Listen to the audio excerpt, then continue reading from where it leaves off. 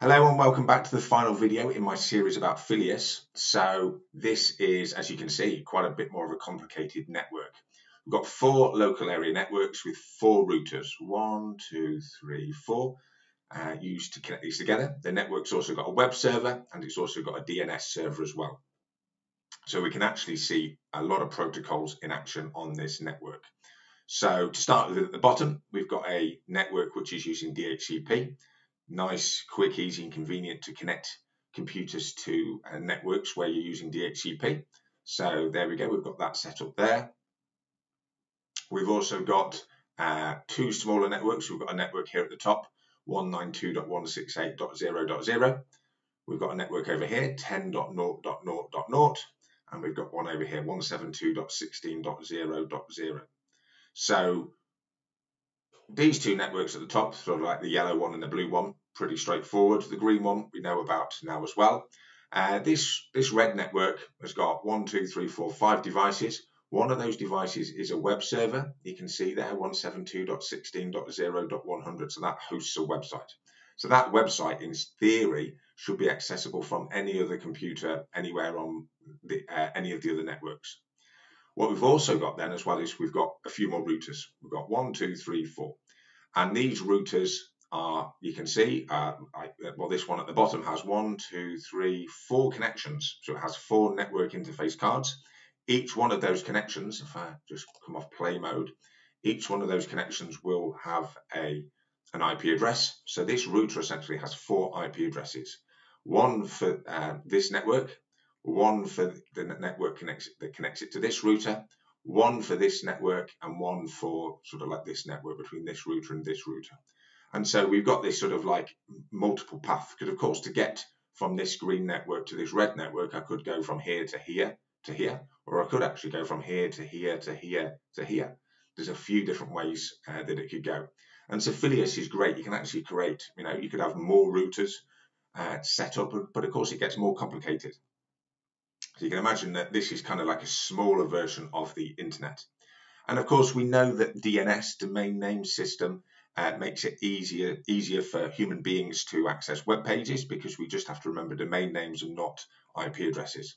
So we've actually got a DNS server that's set up on this little network here called 3 uh, called 3.0.0.5.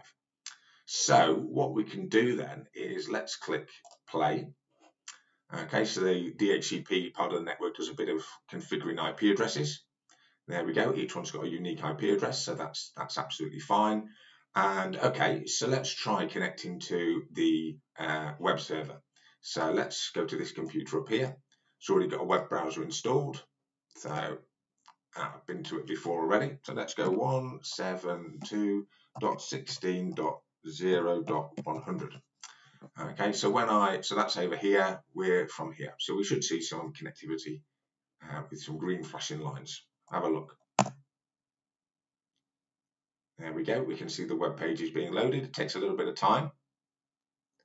Okay, because remember all the data is split into packets. So if I do a little right click on here, say show data exchange, uh, then we actually get um, quite a bit of, uh, we can see what's actually happening. So we've actually got a, a pro protocol called the Routing Information Protocol, uh, which is essentially a well a routing protocol which is checking out the best routes to be taking.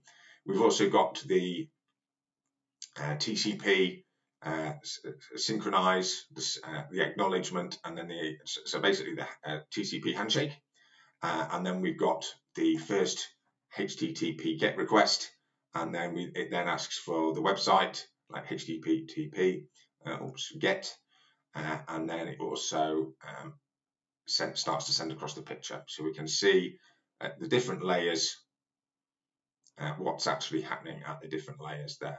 Then to finish off with, we've got the sort of like the sequence and acknowledge, and then we've got the final um, finish acknowledgement there as well. So we've got, you know, you can see there's quite a bit of um, activity there. Okay, so let's close that off. Uh, so, but of course we've got this DNS server. So let's go to um, let's go to this computer here.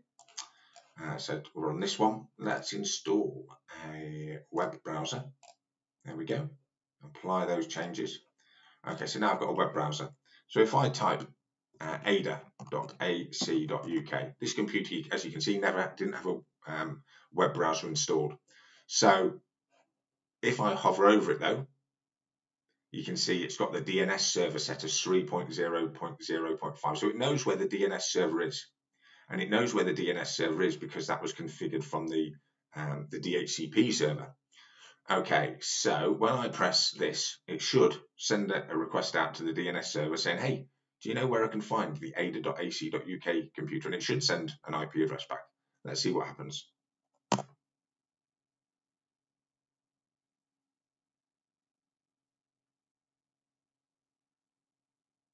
There we go. Did you see it uh, connect to the DNS server first? And then obviously get the IP address and then it knew which computer to connect to. And there we go. There's the website. So let's let's actually check that. So let's actually, uh, if we do a right click on here and say show data exchange, okay, and we scroll down, we can see we've got uh, a DNS, uh, we've got a few DNS requests actually. So the one that we're looking for is, let's oh, actually need to scroll down a little bit. Uh, so there it is. So the DNS request 10.1.1.10, uh, and it was asking, let's have a look, can we actually see what it says? Okay, so it's asking for ada.ac.uk. We can see that here.